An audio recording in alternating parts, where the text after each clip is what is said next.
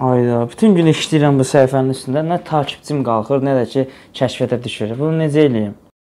Bəli, əgər siz də bu şəxs kimi problemlər yaşayırsınızsa, Instagramda paylaşdığınız postların kəşfiyyata düşmədiyini və Instagram hesabınızda heç bir izləyici artımının olmadığını müşahidə edirsinizsə, onda bu video sizin üçün nəzərdə tutulmuşdur. Bu videoda biz Instagramda inkişaf alqoritmasına mənfi təsir göstərən bir sıra şeylərdən danışacağıq. Ona görə də bu videonun sona qədər izləməyinizi sizlərə məsləhət görərdim.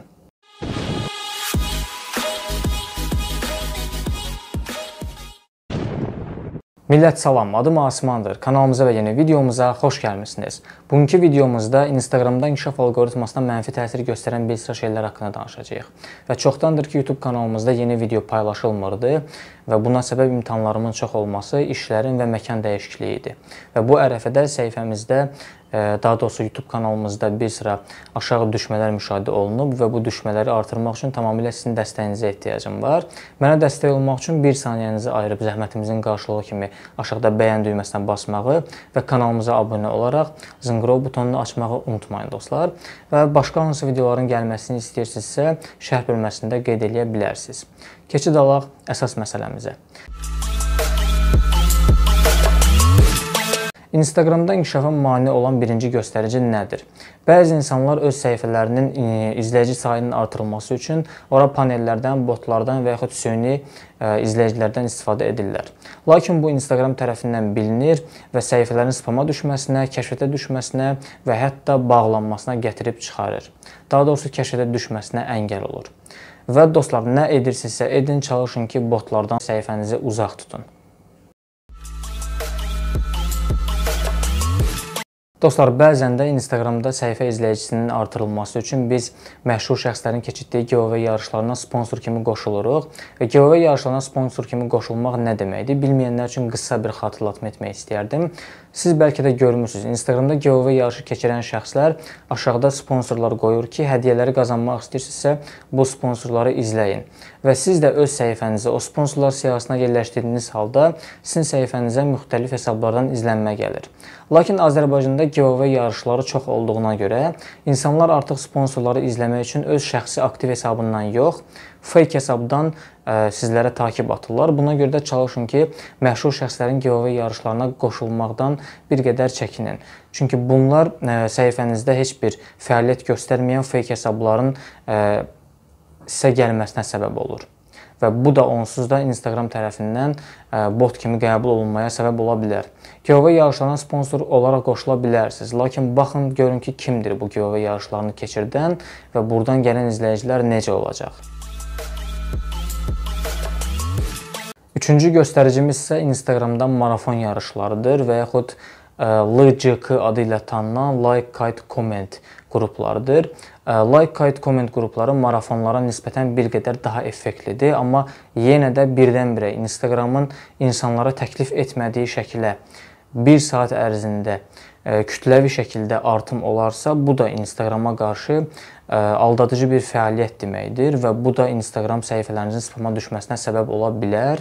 Marafon isə nə deməkdir? Marafon da bu LCK qrupları kimi dediyimiz bir qrupdur və marafon qruplarında siz də insanları izləyirsiniz, onlar da sizləri izləyir və marafon yarışlarına qoşulmaq üçün siz fake hesabla başqa hesabları izləyirsiniz və yaxud sizin izlədiyiniz hesabın deməli izlədiyi insanların sayı çox olur və e, bu qarmaqarışıq bir şeyə gətirib çıxarır. Ona görə də çalışın ki, marafonlarla səhifənizə yığmayın. Tamamilə aktiv e, istifadəçiləri səhifənizə gətirməyə çalışın.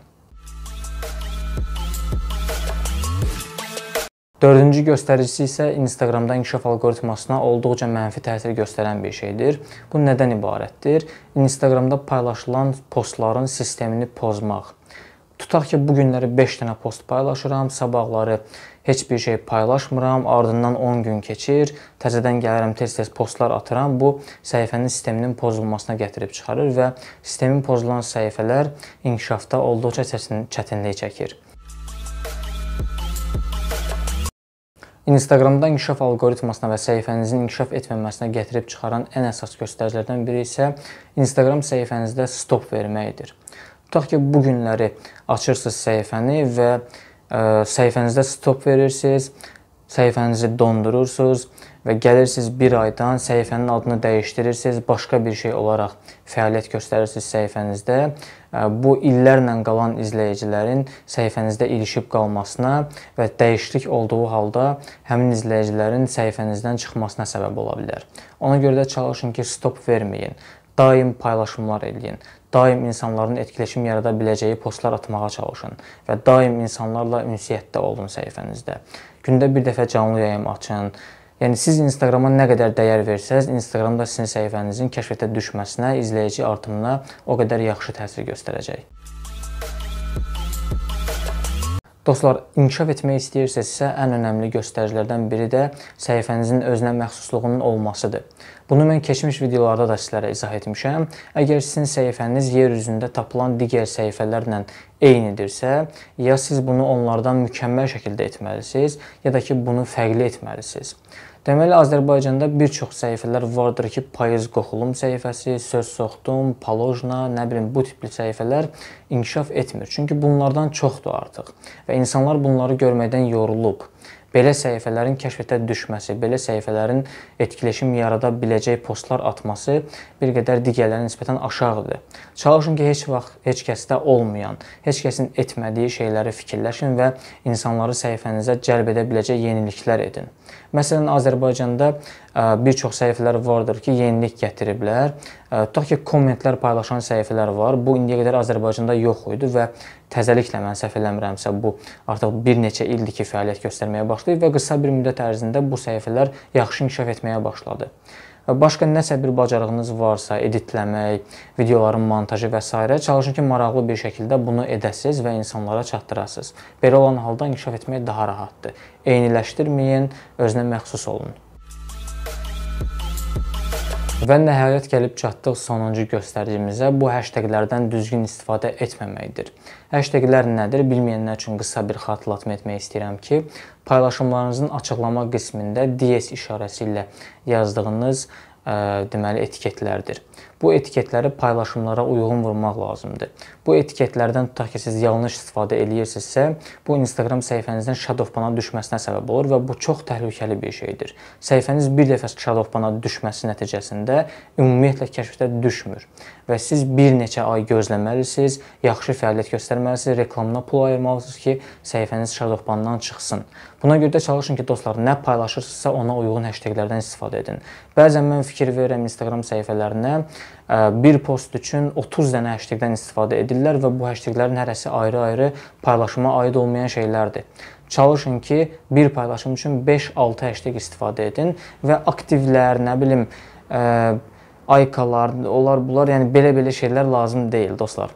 Paylaşdığınız alma paylaşırsınız, alma hashtagindən, meyvə hashtagindən və s. hashtaglərdən istifadə edin.